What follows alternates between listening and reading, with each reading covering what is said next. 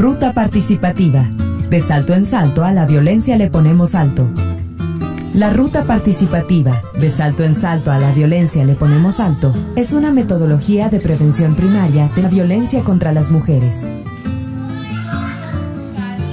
Luego de su validación en el año 2012, ha sido aplicada por partes de entidades gubernamentales, del sector privado, de la sociedad civil, en países en los que trabaja la cooperación alemana, implementada por la GIZ, a través de su programa regional Combo Mujer, en Bolivia, Ecuador, Paraguay y Perú.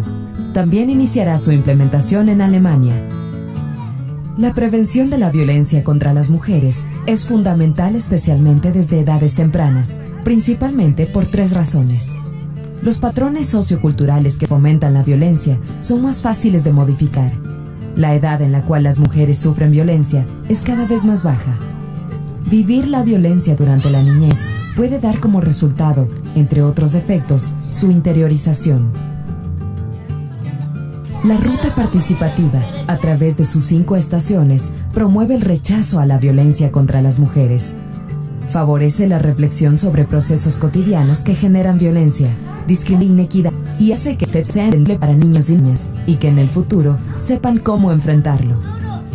Estaciones de la ruta participativa. Estación 1.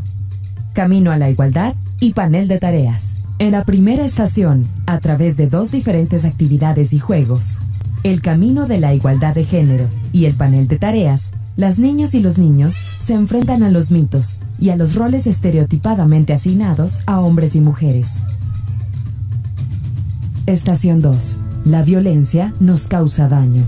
Aquí se presenta a niñas y niños la violencia hacia las mujeres y el daño que ésta causa a las personas a través de escenas plasmadas en láminas. Estación 3. El tesoro. Nos concentramos en el fortalecimiento de la autoestima y la autovaloración de niños y niñas, descubriendo un tesoro. Estación 4. Unidos y unidas frente a la violencia de género. Se enfatiza el sentido de solidaridad, la importancia de buscar ayuda y compromiso colectivo para romper con el ciclo de violencia a través de una obra de títeres. Estación 5. Alza tu voz. Finalmente se refuerza la movilización y la expresión colectiva de rechazo a la violencia mediante la creación y visualización de mensajes que la condenan.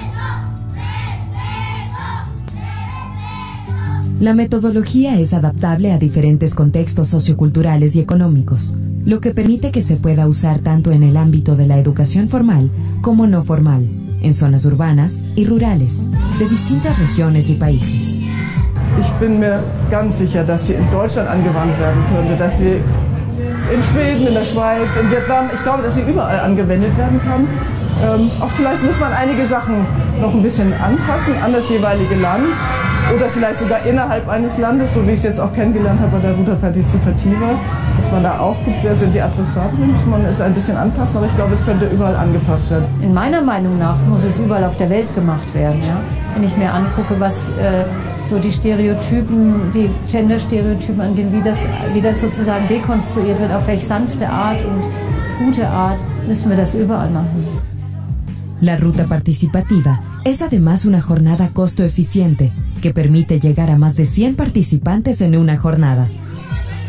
De ruta participativa me pareció súper interesante con muchas cosas que yo puedo aprender para enseñar a otras personas. Eh, es fuerte y creo que va a ayudar muchísimo y va a tener buenos resultados. Desde niños se les debe enseñar los valores, las cualidades que ellos y va, va, a ir aprendiendo. Yo creo que nos va a dar más armas, más eh, herramientas para contrarrestar eso. El tema y ahora saben qué es violencia y qué pueden hacer contra. A mediados de 2015 hay más de 300 personas capacitadas en facilitación de la ruta participativa y más de 1.900 niños y niñas de Bolivia, Ecuador, Paraguay y Perú que han participado. Y a los niños les ayuda bastante porque también ellos pueden identificar la violencia y cómo puedan evitarla.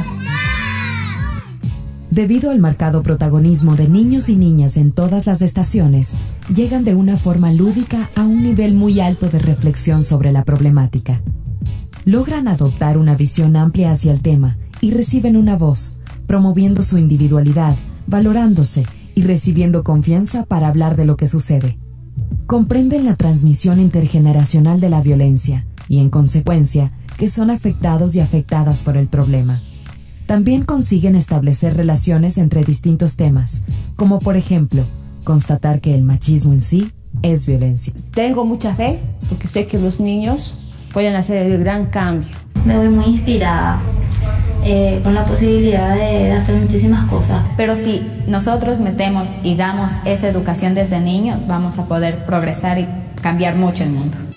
Finalmente, quienes facilitan la metodología reconocieron que involucrarse en la medida les ha permitido no solamente conocer más sobre la violencia contra las mujeres, sino que además ha implicado cambios positivos en sus propias vidas. La primera expectativa es conmigo, de ser agente multiplicadora de todo lo que he aprendido y es un gran compromiso y responsabilidad para poder trabajar al máximo con los niños y niñas y poder de alguna manera minimizar esta situación. La ruta participativa transforma a todas las personas que siguen su camino.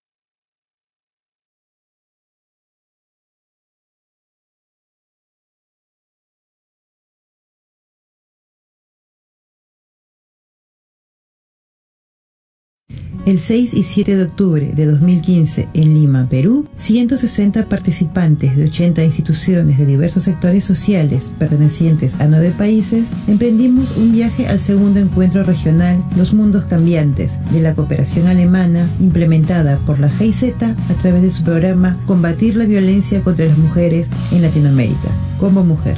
El viaje fue inaugurado en el auditorio del Lugar de la Memoria, la Tolerancia y la Inclusión Social. Nos dio la bienvenida Christine Brendel, directora del programa regional Como Mujer de la GIZ, quien le dio paso a las primeras ponencias, donde participaron Hilaria Supaguamán, miembro de la Comisión de Alto Nivel para poner en marcha el Lugar de la Memoria, la Tolerancia y la Inclusión Social, Jörg Ranau, embajador de la República Federal de Alemania en Perú, y Marcela Guaita, ministra de la Mujer y Poblaciones Vulnerables.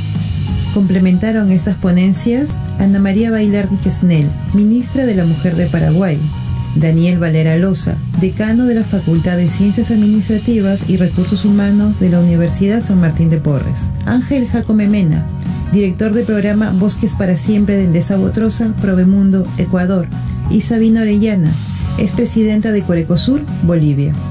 Ellas y ellos nos contaron sobre los problemas y los avances para prevenir y erradicar la violencia contra las mujeres en Bolivia, Ecuador, Paraguay y Perú.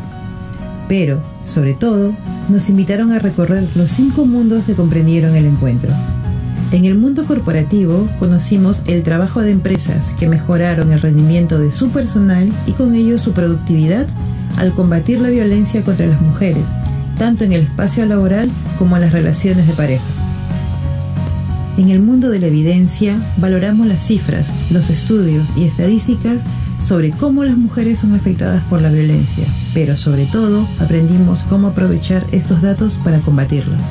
En el mundo normativo reflexionamos sobre graves vulneraciones a las mujeres, como el feminicidio y la violencia en el ámbito de su participación política. También intercambiamos experiencias para combatir este flagelo, como las leyes integrales que aportan a ello.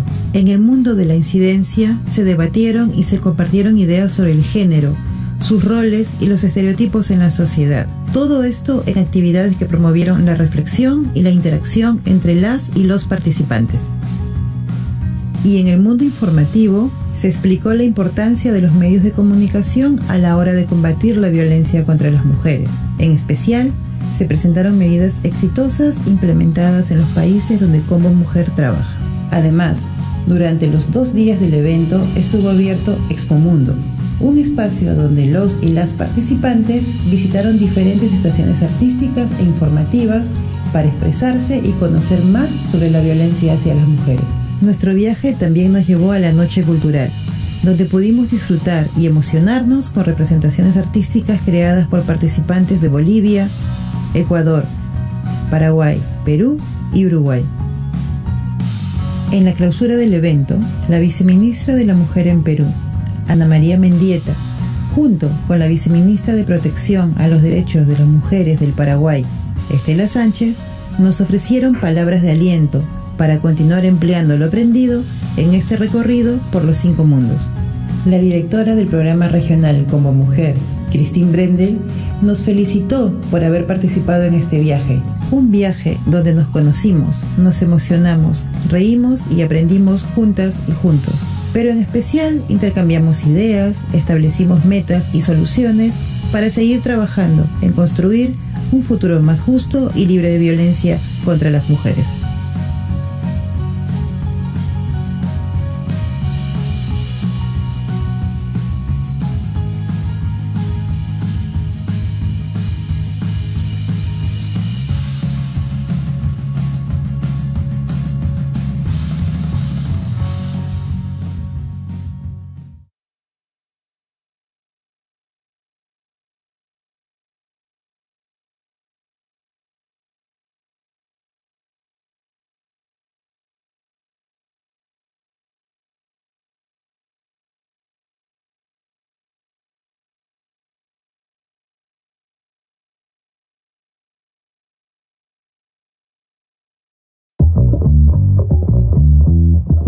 Cartas de mujeres. Amo mi cuerpo sin dolores, aunque me cuesten amores. Amo mi cuerpo sin dolores, aunque me cuesten amores. Soy la sal de la vida, sin culpas y sin castigo. La campaña es una acción que convocó a mujeres, hombres, adolescentes, niñas, niños a usar las cartas como un canal de expresión y comunicación, permitiendo así compartir sus testimonios, reflexiones y demandas para visibilizar, sensibilizar y denunciar la violencia contra las mujeres. Iniciada en Ecuador, el 25 de noviembre de 2011, implementada luego en Perú y posteriormente en Bolivia. De manera simbólica, en el encuentro regional del intercambio al cambio, realizado en Lima en septiembre de 2012, arribó una antorcha en Quito para hacer el primer pase posta de la campaña las ciudades de Lima y Guayaquil. Esta ceremonia se repitió en el segundo pase posta de Lima a La Paz. Todas estas ciudades y países, a través de sus respectivas autoridades, esperan su compromiso político por la prevención y erradicación de la violencia contra El impacto del trabajo realizado en estos tres países, se consiguió replicar la misma campaña a Guatemala, en los cuatro países se consiguió involucrar a múltiples actores y actoras gubernamentales, de la sociedad civil, la empresa privada, la cooperación internacional y la academia. Se ha convertido en una hermosa costumbre que el lanzamiento oficial de la campaña en todas las ciudades de la región se realice con la denominada Noche de Mujeres, en el marco del 25 de noviembre, Día Internacional de la Eliminación de la Violencia contra las Mujeres. La noche permitió que las mujeres se adueñaran del espacio público y lo compartieran con los hombres que manifestaban públicamente su rechazo a la violencia contra ellas. Las principales plazas públicas de varias ciudades de Ecuador, Perú y Bolivia se convirtieron en espacios seguros para disfrutar de diversas expresiones artísticas, culturales y espectáculos internacionales.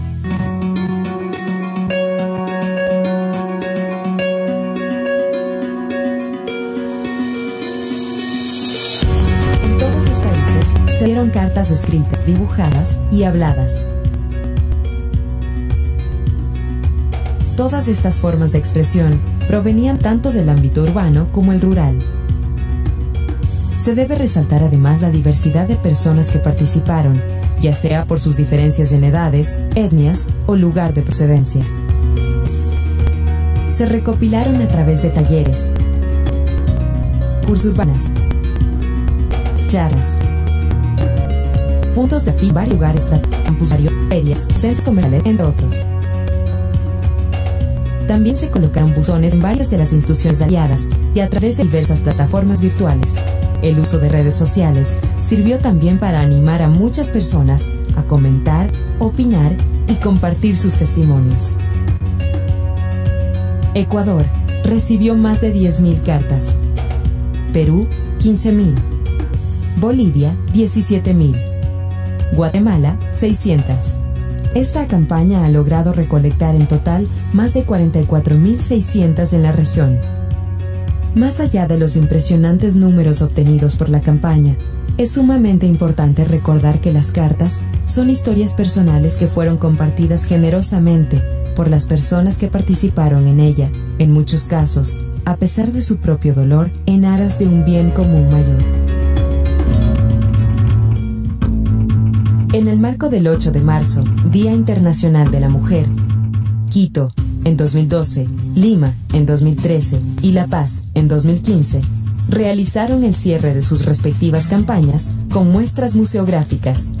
Se trata de espacios artísticos que buscaban hacer una devolución a la ciudadanía y a las autoridades gubernamentales de una forma que active fibras sensibles y muestre el real potencial de estos testimonios.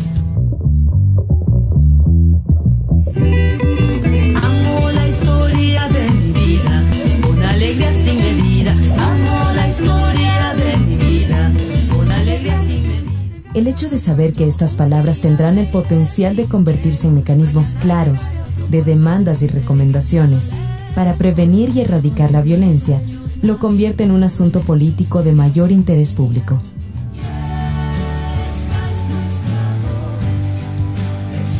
Esto facilita hacer el tránsito de la posición individual de agredida o de persona que atestigua y por ende es afectada por la violencia hacia una posición de agente de cambio que busca erradicar una grave, sistemática y extendida violación de derechos humanos que no solo nos afecta a una o uno, sino a todas y todos.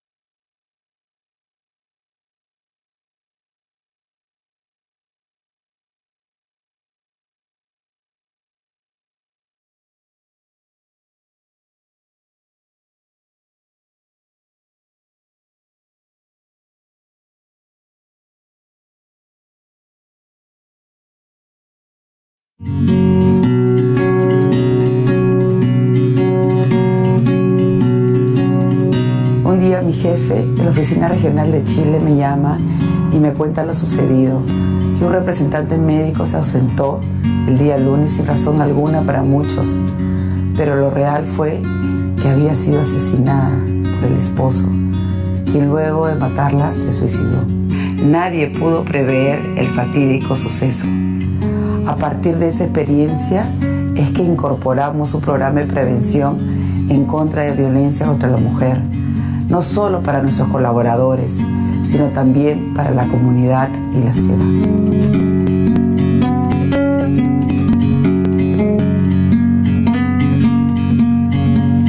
La forma como en que la empresa toma iniciativas vinculadas a la prevención contra la violencia de la mujer eh, surgen a partir de estadística sobre las consecuencias que tiene para la productividad y el rendimiento de, de los colaboradores en la empresa. Hicimos un levantamiento social inicial y ahí vimos que la mayor preocupación era di- la discriminación contra la mujer y el maltrato a la mujer. hicimos una mesa de concertación y involucramos también a otras autoridades como gobiernos locales y la población. Nuestra empresa es una empresa comprometida eh, en la lucha contra la violencia hacia la mujer. Desde hace tres años realizamos un plan estratégico y uno de sus objetivos principales es promover la lucha la violencia contra la mujer. Cuidamos inicialmente que no exista violencia contra la mujer dentro de nuestras instalaciones. Eh, tenemos un manual contra el hostigamiento sexual desde que empezamos operaciones y se capacita sobre, eh, sobre este manual. También se trabajó mucho dando capacitación a nuestros colaboradores, eh, dando oportunidad a las mujeres en trabajos que anteriormente pues eran impensables. Nosotros tenemos un código de ética en el cual damos igualdad de oportunidades a hombres y mujeres. Eh, también empezamos a dar charlas de capacitación al personal y empezamos a ayudar a instituciones que promueven la no violencia. Desarrollamos 14 microprogramas para que las jóvenes sepan detectar los primeros indicios de violencia hacia la pareja. Contamos con 300 colaboradores sensibilizados, capacitados en prevención. Y de ellos, 30 son agentes ahora, es decir, que están capacitados para la detección y derivación de los casos encontrados de violencia. Informarles cuáles son los derechos y los deberes que tienen como por el solo hecho de ser mujeres, así como por el hecho de ser pues, colaboradores y colaboradores de la- nuestra organización. Creo que eso ayudó a comenzar a cambiar un poco la mentalidad y a crear una mayor aceptación por parte de nuestra gente, lo cual creó un mejor clima laboral. Nosotros realmente sentimos que ha cambiado en el tiempo nuestra organización porque está mucho más atenta. Hemos involucrado a hombres y a mujeres para discutir el tema de la violencia. El personal al comienzo eh, lo veía como un proyecto en la empresa, pero una vez que se dieron los resultados, notamos, notamos mucha participación en las charlas, la, la gente se identifica inmediatamente con los proyectos de ayuda que hacemos. Esto indudablemente ha generado un gran sentido de compromiso, pertenencia y mejorar la contribución de la calidad de vida de nuestros colaboradores. Lo que se logró fue crear una conciencia que el tema de maltrato a la mujer afectaba a toda la familia, tanto en lo físico como, como en lo mental. Y eso lo hemos trabajado también con ONGs locales. hemos podido constatar para nuestra satisfacción que las colabora- colaboradoras están mucho más identificadas con la empresa, saben, sienten que justamente la empresa las respalda. Sentimos estar más focalizadas en el trabajo, en el día a día. Y sobre todo orgullo de pertenecer a una empresa que no solamente se preocupa de hacer dinero, sino también de lograr una sociedad mejor para todos.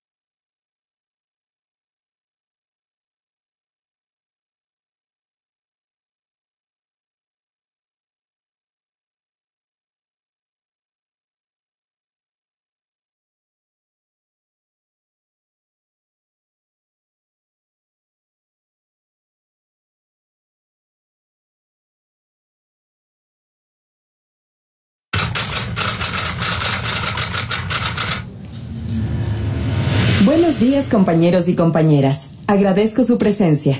El objetivo de esta reunión es para informar sobre nuestro sistema de capacitación en línea que ya está al aire. Podrán sacar su certificado de empresa segura, líder en tolerancia cero frente a la violencia contra la mujer, para que puedan transmitir los contenidos no solo aquí en nuestra empresa, sino también con sus familias y amistades. También les pido que motiven a sus colegas a participar. ¿Y para qué me voy a certificar? Para que te capacites y puedas hablar con propiedad sobre la violencia contra las mujeres que nos afecta a todos y todas. No solamente en el ámbito laboral, también en los sectores de salud, educación, justicia, a la sociedad en general. Yo ya me certifiqué y por eso sé que por cada 20 trabajadores o trabajadoras son casi 28 mil dólares lo que nos cuesta como empresa la violencia contra las mujeres. Baja la productividad de nuestra empresa y perjudica el buen ambiente de trabajo. Correcto. Adquirir conocimiento sobre los costos que genera la violencia con mujeres para las empresas es tan solo uno de los puntos de capacitación en línea. ¿Y qué más se puede aprender? Otras áreas de aprendizaje son la violencia contra la mujer en sí. ¿Qué es?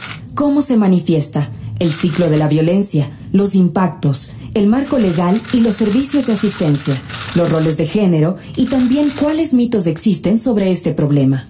Mm, a ver, les voy a explicar cómo pueden utilizar el aprendizaje virtual. Es bastante sencillo. Ingresan a la página y primero sale un texto bien corto donde pueden leer y tener una información general sobre la violencia. Luego dan un clic en Ingresa aquí. Con tu correo electrónico y la clave asignada se abre el sistema. Después inician con las preguntas. Son 25 bloques de 10 preguntas cada uno. Los primeros 15 son para ir aprendiendo y los siguientes 10 para calificarte. Cuando hago la prueba, ¿qué porcentaje debo sacar para certificarme? Necesitan 90% de conocimiento para certificarse. ¿Entiendo bien que yo puedo ver los porcentajes de las y los demás? Si es así, ¿cómo lo hago?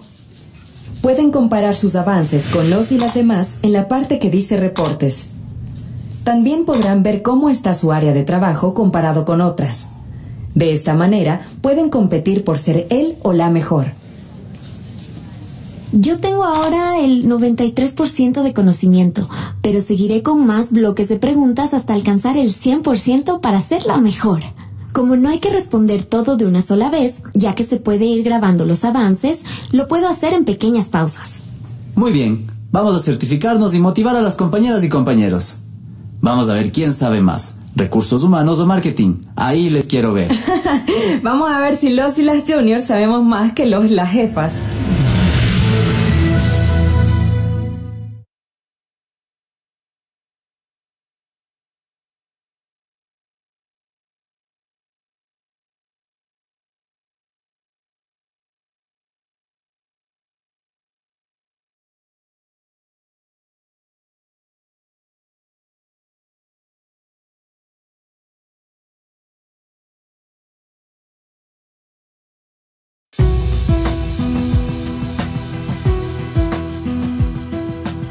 Bienvenidos, bienvenidas. Juntos Juntas es una herramienta informática desarrollada por la CNT con la asesoría técnica de la cooperación alemana GIZ a través de su programa Como Mujer. Esta aplicación está dirigida principalmente a mujeres que sufren de violencia de género y a toda persona que pudiera detectar en su entorno una posible situación de violencia. Les invitamos a conocer más acerca de esta aplicación. Dies ist das Hauptmenü, in dem wir folgende Optionen haben. Über diese App Juntos Juntas gemeinsam. Hier findet sich eine kurze Beschreibung der Applikation. Tests über Gewalt in Paarbeziehungen. Hier finden sich zwei Proben. Einmal, um zu sehen, ob ich Gewalt erfahre oder ob ich gewalttätig bin. Dies als Vorsichtsmaßnahme. Es handelt sich hier nicht um eine psychologische Diagnose. Was kann ich tun? In diesem Teil finden sich Ratschläge für betroffene Frauen, für Freunde oder Familienmitglieder sowie auch für Männer, um nicht gewalttätig zu werden. Suche Hilfe. Hier befinden sich Nummern und Adressen von staatlichen Hilfsdienststellen. Diese können über eine direkte Kurzwahl hier erreicht werden. Botschaften und Zeugnisse. Zwei Frauen berichten über ihre Gewalterlebnisse. Notrufnummern. Es können hier bis zu drei persönliche und welche Kontakte gespeichert werden. An diese können im Notfall vorgefertigte oder persönliche Textnachrichten anonym gesendet werden. Zusätzlich findet sich immer auf jeder Seite im unteren Teil die Kurzwahl zur Notrufnummer 911 und die Möglichkeit, eine Textnachricht an persönliche Notrufkontakte zu senden.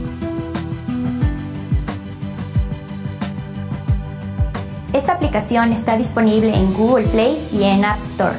También pueden ingresar a nuestro sitio web de la CNT para poderla descargar. Juntos, juntas, somos responsables para prevenir la violencia contra las mujeres.